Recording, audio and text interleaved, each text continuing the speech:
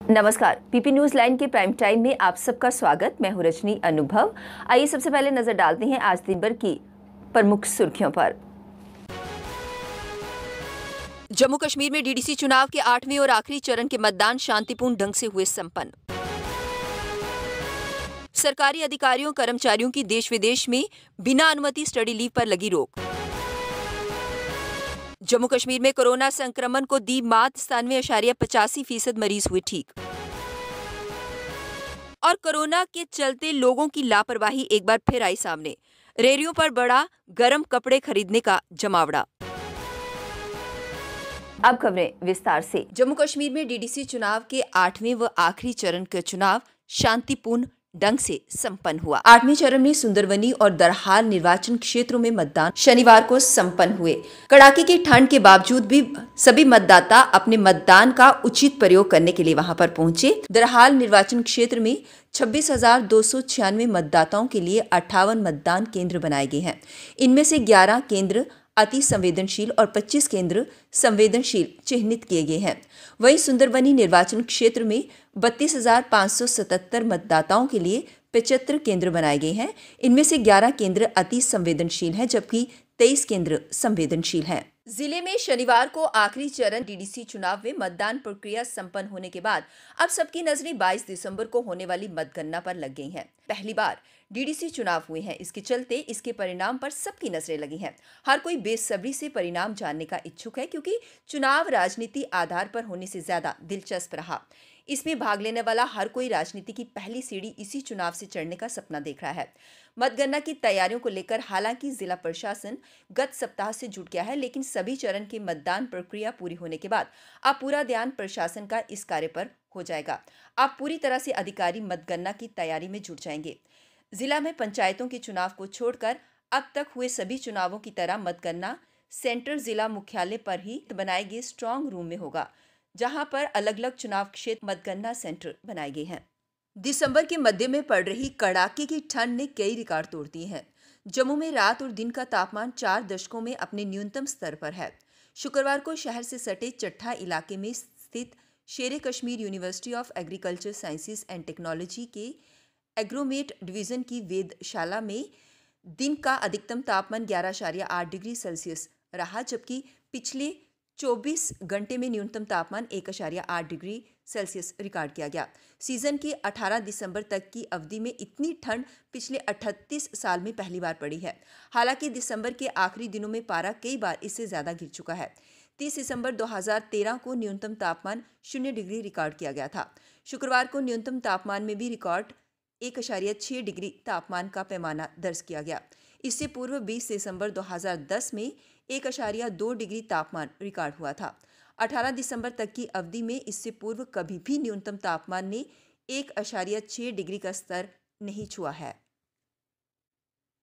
जम्मू कश्मीर सरकार ने सरकारी अधिकारियों, कर्मचारियों की देश विदेश में स्टडी लीव पर जाने के नियमों पर कड़े निर्देश जारी किए हैं। उपराज्यपाल मनोज सिन्हा ने संज्ञान लेते हुए ये कहा कि भविष्य में कोई भी सरकारी कर्मी बिना पूर्व अनुमति के स्टडी लीव पर न जाए। प्रदेश में ऐसे कई मामले सामने आए हैं जहाँ पर सरकारी कर्मचारी बिना मंजूरी लिए उच्च शिक्षा के लिए देश व विदेश चले गए और वहाँ कोई कार्यवाही नहीं हुई।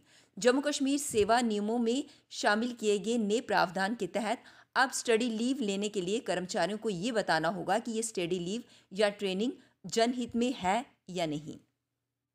जम्मू कश्मीर ने कोरोना संक्रमण को मात देने के लिए काफ़ी हद तक सफलता हासिल कर ली है। प्रदेश में अब तक कोरोना संक्रमित मरीजों में से पचानवे फ़ीसद मरीज़ स्वस्थ हो चुके हैं। मात्र पाँच फ़ीसद मरीज़ ही ऐसे हैं जो कि अस्पतालों या फिर घरों में अपना इलाज करवा रहे हैं। अगर इसी तरह का सिलसिला आने वाले दिनों में भी जारी रहता है तो स्वस्थ होने वाले मरीजों की दर और बढ़ जाएगी। नेशनल हेल्थ मिशन के आंकड़ों के अनुसार अभी तक जम्मू कश्मीर में कुल एक लाख सत्रह हज़ार सात सौ पाँच लोग कोरोना संक्रमित हुए हैं। इनमें से एक लाख ग्यारह हज़ार छह सौ अट्ठाईस ठीक हो चुके हैं, अर्थात चौरानवे शारिया तिरासी फ़ीसद मरीज़ ठीक हो चुके हैं। सभी जिलों में नब्बे फ़ीसद से अधिक मरीज़ ठीक हो चुके हैं। जम्मू संभाग के पुंछ ज़िले में सबसे अधिक सतानवे आशारिया पचासी फ़ीसद मरीज़ ठीक हुए हैं। वहीं जम्मू ज़िले में श्रीनगर के बाद सबसे अधिक लोग संक्रमित हुए हैं। उनमें से चौरानवे आशारिया अस्सी फ़ीसद मरीज़ ठीक हो चुके हैं। स्वास्थ्य विभाग के अधिकारियों के अनुसार अब अस्पतालों में इलाज के लिए वही मरीज़ आते हैं, जिनकी हालत गंभीर होती है, जिनका ऑक्सीजन स्तर कम होता है। अन्य मरीजों का इलाज घरों में ही हो रहा है। एक तरफ़ कोरोना से बचने के लिए दो गज की दूरी और बिना सैनिटाइज किए किसी चीज़ को ना छूने वाले सरकार लोगों को जागरूक कर रही है। लेकिन दूसरी तरफ़ लोग सब कुछ जानकर भी अनजान बन रहे हैं।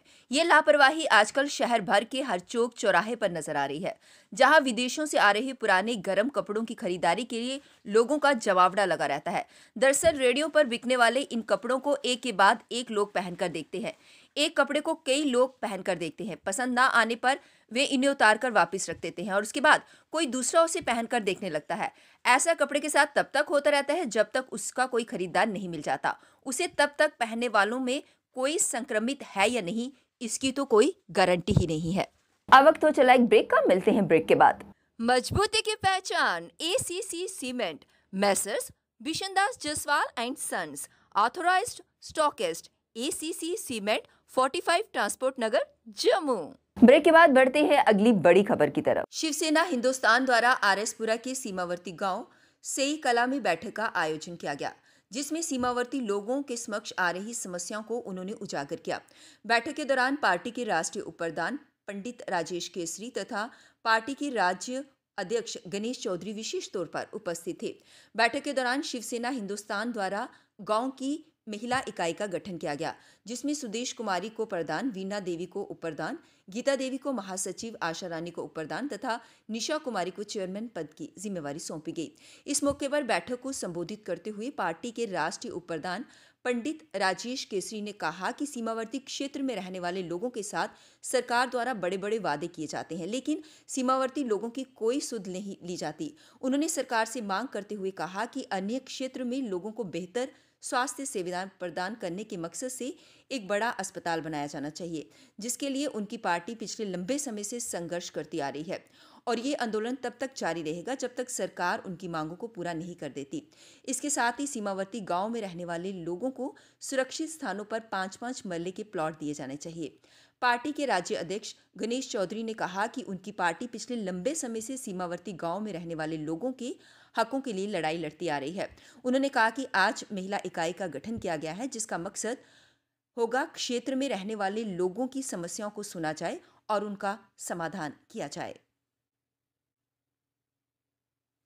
सुदेश कुमारी और जेह्ड़ी असें वाइस प्रेसिडेंट बनाई है बीना देवी और जेह्ड़ी असें इत्थूं दी जनरल सैक्रेटरी बनाई है गीता देवी और जेह्ड़ी असें इत्थूं दी चेयरमैन बनाई आशा रानी अज्ज जेह्ड़ी लेडीज़ ने असें जित्थै यूनिट बनाया अज्ज मैं सारे इंदी लेडीज़ दी अग्गें इक अपील करङ कि ग्राएँ ग्राएँ जाइयै अज्ज इस वास्ते असें इत्थै यूनिट बनाया कि जेह्ड़ी बी बार्डर दी समस्या ऐ चाहे ओह् राशन कार्ड गी लेइयै चाहे ओह् पेंशन गी लेइयै चाहे ओह् गलियें गी लेइयै ग्राएँ ग्राएँ जेह्ड़े कन्नै ग्रां लगदे न बार्डर एरिया जेह्ड़े बी समस्या न बार्डर एरिया जनता दी समस्या जेह्ड़े न एह् जुड़ियै हल करन क्योंकि शिवसेना हिंदुस्तान पार्टी पूरा यूनिट दे कन्नै पिच्छे बैठे दा ऐ और अज्ज जियाँ असें इक इत्थूं दा इक मसला बार्डर दे लोकें दी समस्या हा कि इक रनिये दे बिच इक बड़ा बड्डा हॉस्पिटल होना चाहिदा अस माननीय साहब गवर्नर अग्गें बी अपील करगे कि इक रनिये बार्डर एरिया गी बड़ा बड्डा हॉस्पिटल दित्ता जाना चाहिदा ऐ क्योंकि जिल्लै बी कोई ऐसे हालात औंदे न, ते इत्थै कोई छोटी इक रनिये डिस्पैंसरी ऐ रनिये इक बार्डर वास्ते बड़ा बड्डा हॉस्पिटल होना चाहिदा ऐ और बार्डर दे लोकें गी, खासकर पंज पंज मरले दा जेह्ड़ा प्लाट ऐ ओह् गवर्नर साहब ने देना चाहिदा ऐ क्योंकि जिल्लै बी बार्डर दे लोकें कोई इत्थै अपनी गोलाबारी चलदी ऐ जां ऐसे हालात न,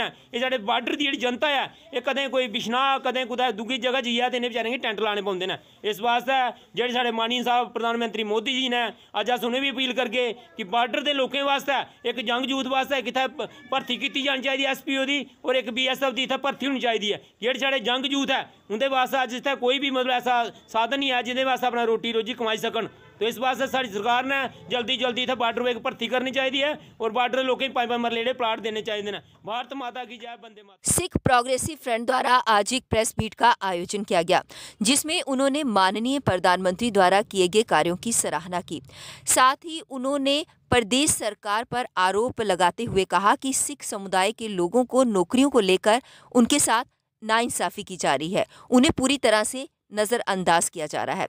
इसके लिए उन्होंने माननीय प्रधानमंत्री से गुहार लगाई कि खुद इस मामले में हस्तक्षेप कर सिख समुदाय को इंसाफ दिलाया जाए। की तरफ़ से 1997 पोस्ट डिविजनल कैडर की और डिस्ट्रिक्ट कैडर की इन डिफरेंट डिपार्टमेंट्स में निकाली गई माइग्रेंट्स और नॉन माइग्रेंट्स कश्मीरीज के लिए।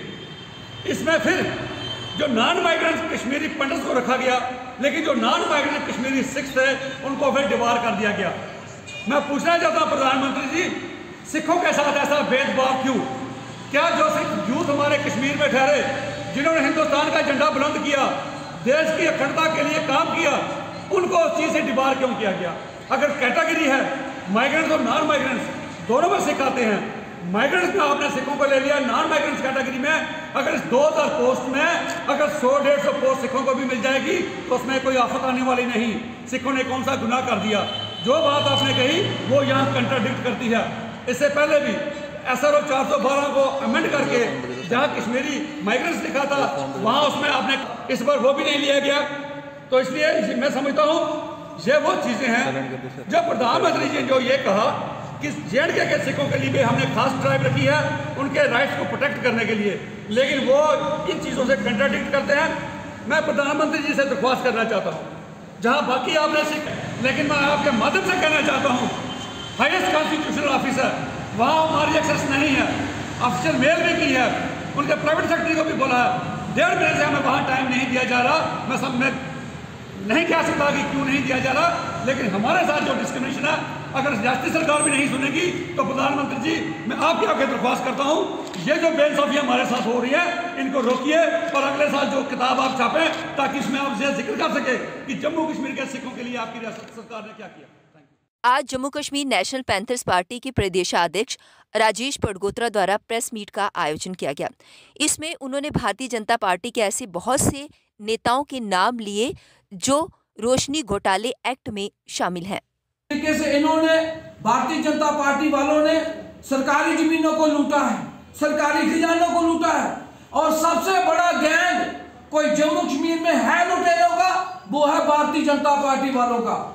हम एलजी प्रशासन से ये मांग करना चाहते हैं कि इनके खिलाफ एफआईआर लाज करके इनको फौरी तौर पे गिरफ़्तार किया जाए, और जेपी नड्डा साहब, आप इनके खिलाफ कार्रवाई करें, और इलेक्शन कमीशन ऑफ़ इंडिया से हम अपील करना चाहते हैं कि इनको आने वाली असेंबली की इलेक्शन में इनको जो है वो परमिशन ना दी जाए इलेक्शन लड़ने की, क्योंकि सबसे ज़्यादा करप्ट अगर कोई अगर कोई लीडर है तो वो भारतीय जनता पार्टी वाले हैं। जिस तरीके से जनता पार्टी के लिए अलग कानून जम्मू कश्मीर में बनाया हुआ था, आज पैंतीस पार्टी जो है, वो ऑनरेबल हाई कोर्ट का धन्यवाद करती है, जिन्होंने एक एक नज़र से सभी को देखा और आज भारतीय जनता पार्टी के नामों को सामने लाकर पैंतीस पार्टी ऑनरेबल हाई कोर्ट का धन्यवाद करती है। पीपी न्यूज़ लाइन के प्राइम टाइम के आज के इस अंक में बस इतना ही। मुझे और मेरी पूरी टीम को दीजिए इजाज़त और आप देखते रहिए पीपी न्यूज़ लाइन नमस्कार।